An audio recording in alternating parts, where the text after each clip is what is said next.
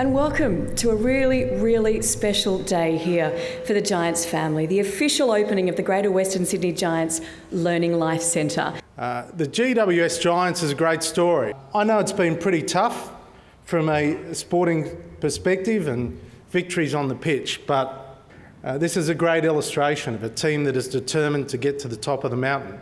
And it will, and it will. There is a great esprit de corps uh, within the Giants. It's got a fantastic fan base. Western Sydney has embraced it as a team, but most importantly, it is a team with a great culture. And I hear from my good friend Tony Shepherd and Joseph Carrozzi and a number of others who are involved in the Giants about this great culture that is building in a club, a new club. And it's so rare for a new sporting club to immediately develop a culture. And uh, the Giants have it. The Giants have it.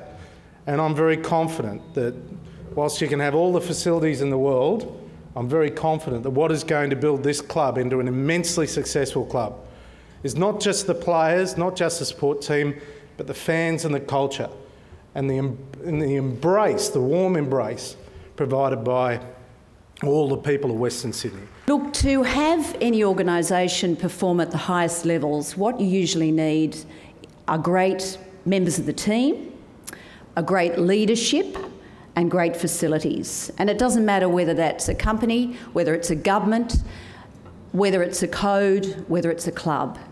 And that's what we're celebrating the opening of today. All of those things coming together in one place. And in particular, having two kids um, I'm particularly keen about getting them off the couch and away from their iPads. And so, what we have here in supporting the performance of the GWS Giants is another incentive to get the fans and young people out watching AFL and maybe even kicking a ball around. And I really support that.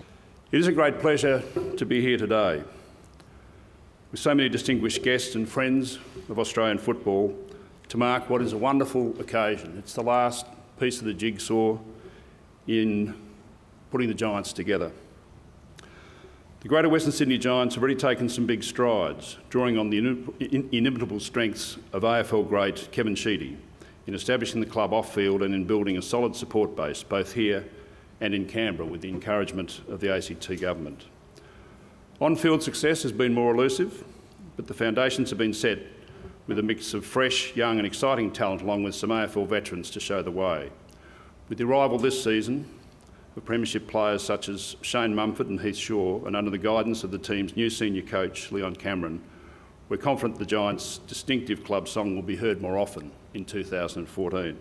Uh, this is a great day for the Giants and a giant leap forward for us in Greater Western Sydney. We celebrate a significant milestone for the Giants, our great game of AFL and the local community. Today we officially open the Learning Life Centre at the home of the Giants. Today, we, I'm pleased to announce we also welcome a new partner to the GWS Giants family. Uh, in that respect, I'm pleased to announce that uh, Woolworths will partner our nutrition program that will be delivered to thousands of students from years 5 to 10 across 40 different schools in the Greater West. In just two days from now, we will play our first NAB Challenge match against the Swans at our home in, other home in Canberra. And in just 25 days, we'll take on our crosstown rival in the Battle of the Bridges in what hopefully will be our first sellout at Spotless Stadium here at Olympic Park.